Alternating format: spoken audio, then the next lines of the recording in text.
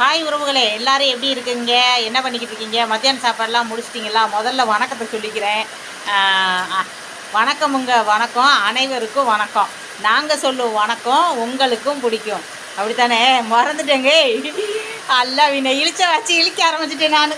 போங்க வியாபாரத்துக்கு போயிட்டு இப்போ தான் வந்தால் வெளியில் மழை அடித்து ஊற்றுது இந்த சவுண்டு உங்களுக்கு கேட்குதா என்னன்னு தெரியல. இருந்தாலும் கத்தி தான் நான் பேசுகிறேன் அடித்து ஊற்றிக்கிட்டு இருக்கு. நான் மட்டும் வீட்டுக்கு வந்துட்டே முத்து சரக்கு தெரிஞ்சுட்டு தான் வருவாங்க. பாவனி நீ போய்க்க. நான் சரக்கு தெரிஞ்சுட்டு வரேன்னு சொல்லி என்னை அனுப்பி விட்டாங்க. நான் வந்துட்டேன். வரையிலே தப்ப தப்ப தப்பாக நனைஞ்சிக்கிட்டு தான் வந்தேன். அவ்வளோவா நனையலை. என்னன்னு சொல்கிறது ரெண்டு எங்கள் என்னை கொண்டாந்து இங்கே இறக்கி விட்டுட்டு இந்த மிஷினை இறக்கி விட்டுட்டு போனார். இப்போ தாங்க வீட்டை சுற்றி காலி பண்ணி ரெண்டு மூணு நாளைக்கு முன்னாடி தான் மிஷினெல்லாம் கொடுத்தேன்.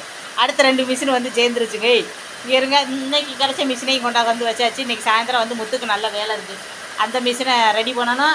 அதுக்கு கீழே இருக்க இந்த மிஷினையும் ரெடி பண்ணணும். இந்த ரெண்டு மிஷினும் தான் இன்றைக்கி கிடச்சிச்சு. என்னக்கா மிஷின் எல்லாம் அப்படி கொடுத்துட்டு கொடுத்துட்டு அவங்க என்ன மிஷின் வாங்குறாங்களேன்னு பார்க்குறீங்களா ஹை ஸ்பீடு வாங்குறவங்க சிங்கிள் மிஷினை கொடுத்துருவாங்க.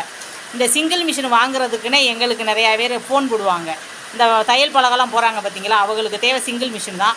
அவங்க ஃபோன் போடுவாங்க. நீங்கள் மிஷின் இருக்கா என்னென்னு. இருந்துச்சுன்னா வந்து பார்த்து தச்சு பார்த்துட்டு எடுத்துகிட்டு போயிடுவாங்க.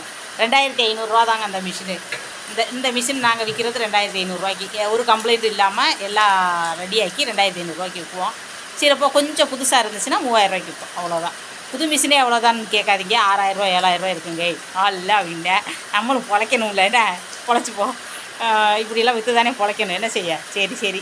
பாருங்கள் ரெண்டு நாளாக காமெடி எடுக்கலை. எப்படி சொல்கிறது டைலாக்குங்கிற பேரில் டைலாக்கில் இறங்கிட்டான் இருந்தாலும் அதுவும் ஒரு யோசனை தானே. நல்ல கோர்வையை யோசிச்சிருக்கேல்ல அக்கா. அதை நினச்சி லைக் போட்டிருக்கீங்க? பரவாயில்ல. முதல் நாள் பாத்திரக்கொட்டைக்கிட்ட வச்சு பேசின வீடியோவுக்கு விட இந்த இன்றைக்கி காலையில் எங்கள் முத்துவை வச்சு பேசின வீடியோக்குனால லைக்கும் கமெண்ட்டும் வந்திருக்கு.